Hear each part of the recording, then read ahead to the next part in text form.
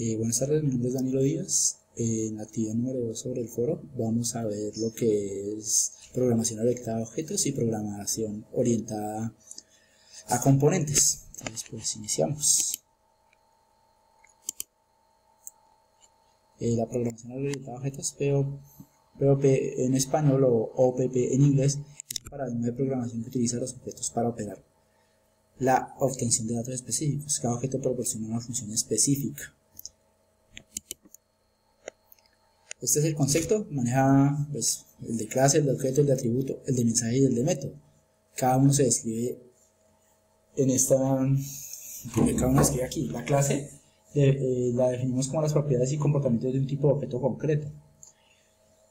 El objeto es la instancia de la clase.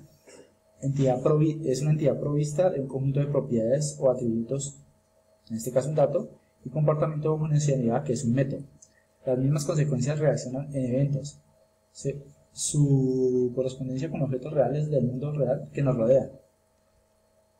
O con objetos internos del sistema, que son del programa.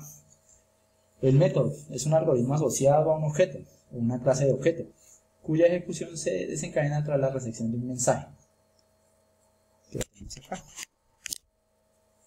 Desde el punto de vista del comportamiento, es lo que el objeto puede hacer.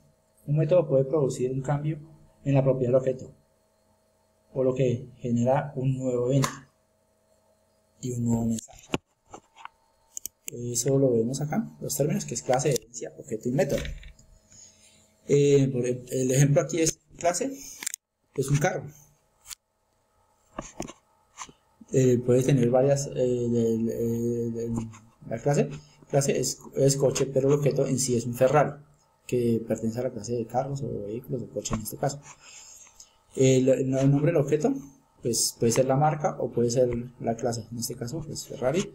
El método que queremos hacer, arrancar los datos, qué color tiene, qué placa tiene. Esos son los, datos que tenemos. También hay otros términos que manejan la programación orientada a objetos, que es el evento, que es un suceso en el sistema, que nos en, ese evento en el sistema tal, con tal que la autorización del usuario o la máquina o un mensaje enviado por un objeto. El sistema maneja el evento enviando el mensaje adecuado, bien sea así o no, continúe o por los errores fatales. El atributo pues la característica que tiene la clase.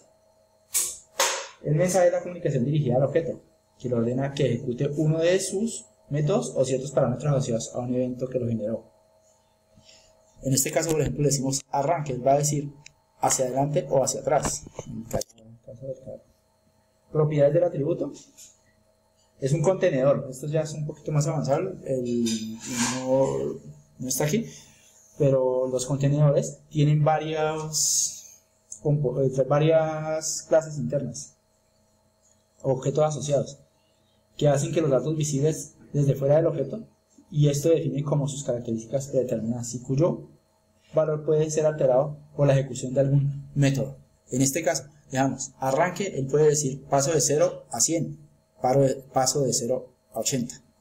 Esto sería el, ejemplo de Estado interno es una variable que se declara privada, no puede ser que puede ser únicamente accedida y alterada por, uno, por el método del objeto y que se utiliza para indicar distintas situaciones posibles para el objeto o clase de objeto. En este caso, para que arranque, inicialmente tiene que estar el carro apagado.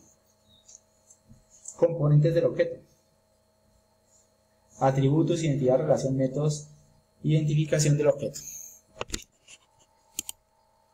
Las características de la programación orientada a objetos es la abstracción, el encapsulamiento, la abstracción, y pues ya del término, denota las características esenciales del objeto, donde se capturan sus comportamientos.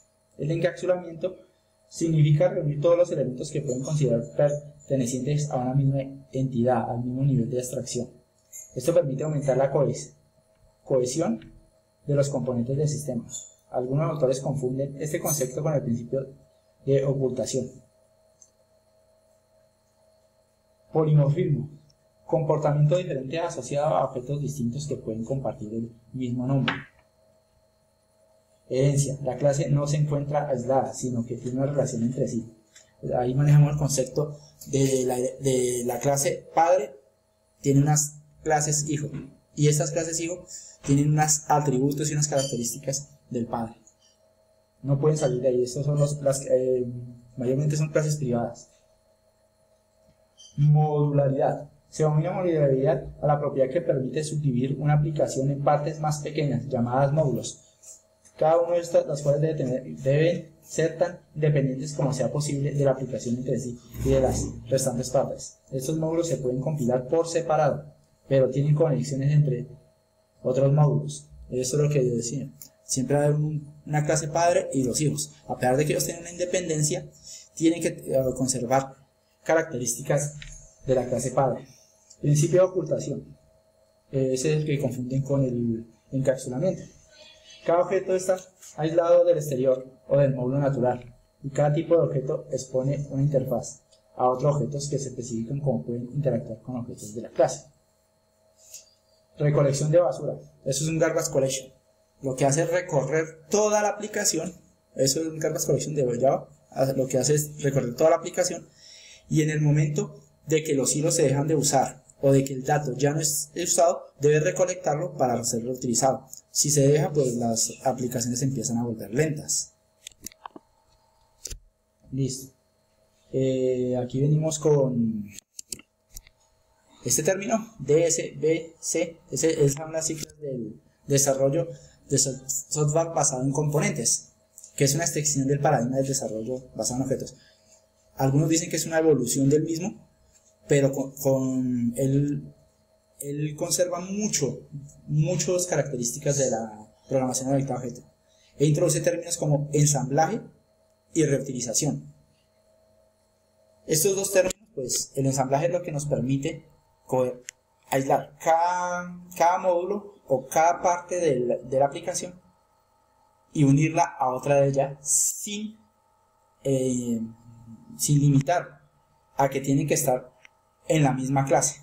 Y la reutilización, como pues, esa la redundancia sería, es coger la misma clase y usarla para la siguiente acción. No tenemos que hacer un código para cada acción en el programa. Si ya existe, la podemos reutilizar para la siguiente fase de la ejecución. El componente, pequeños paquetes, el componente puede ser un pequeño paquete de software, un servicio web o un módulo de encapsulamiento en conjunto de funciones.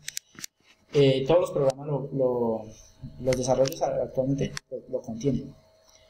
Eh, uno que es muy conocido es el NetBeam. Él utiliza parte de esta tecnología, es nueva, pero ya están viendo sus beneficios.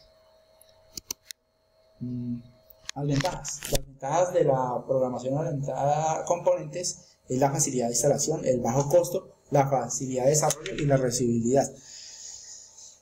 Eh, bueno, aquí vendrían las diferencias.